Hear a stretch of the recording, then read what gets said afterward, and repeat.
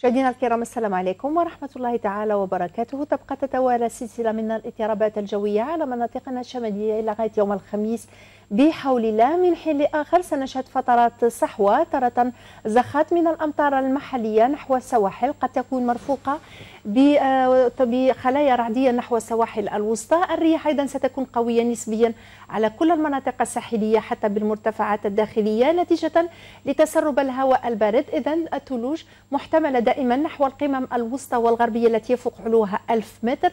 بعض الأمطار الضعيفة والمحلية نحو الصورة شمال الصحراء سحب عابرة بمنطقة الواحات وأجواء مستقرة.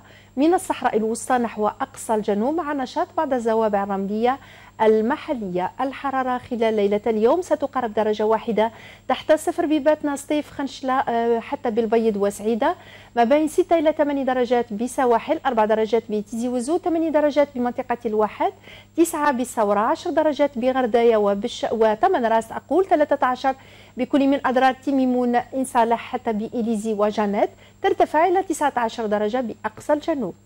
خلال ظاهرة الغد الحرارة قصوى تبقى باردة بالمناطق الداخلية الوسطى والغربية مقاييس ما بين 7 إلى 8 درجات تصل إلى 14 بالعاصمة بوهران تيزي وزوق قسنطينة 13 درجة بباتنا وستيف 19 بشمال الصحراء 17 بمنطقة الواحات في حدود 20 درجة بالثورة 25 درجة نحو تندوف 28 درجة بالصحراء الوسطى كذلك بجانت وترتفع إلى 34 درجة بأقصى الجنوب.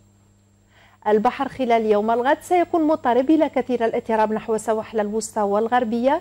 رياح معتدلة أحيانا تشتد لغاية 50 كم في الساعة بسواحل الوسطى والغربية. أما عن الاتجاه سيكون من شمالي غربي إلى شمالي تماما نحو سواحل الغربية جنوبي غربي إلى شمالي غربي نحو سواحل الوسطى بينما نحو سواحل الشرقية الرياح تكون تارة غربية تارة جنوبية غربية. بالنسبة للأيام القليلة المقبلة نستهلها بيوم الثلاثاء. سنسجل أيضا عبور اضطراب جوي آخر. سيكون مرفوق ببعض الأمطار الرعدية نحو السواحل الغربية.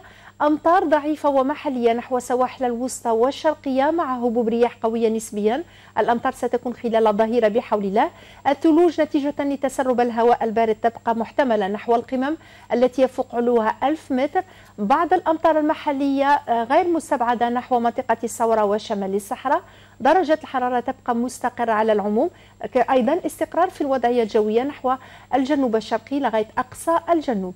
يوم الأربعاء تحسن في حالة الطقس نحو المناطق الغربية بعد الأمطار تبقى محتملة نحو السواحل الوسطى والشرقية مرفوقة بهبوب رياح قوية نسبيا. الأمطار تكون أحيانا تحت وقع الرعود. ثلوج دائما تبقى مرتقبة نحو القمم الوسطى والشرقية التي يفوق علوها 1000 متر. بعض الأمطار المحلية دائما تبقى محتملة بشمال الصحراء الصورة وتشمل هذه المرة أيضا منطقة الواحات.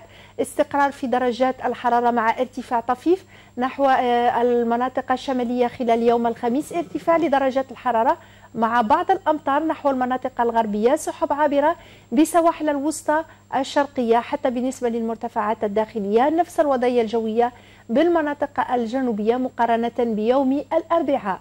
وقت شروق الشمس صبيحة الغد على مستوى العاصمة. سيكون في حدود الساعة السابعة صباحا و21 دقيقة والغروب على الساعة السادسة مساء و40 دقيقة. مشاهدينا أشكركم على حسن المتابعة وإلى اللقاء.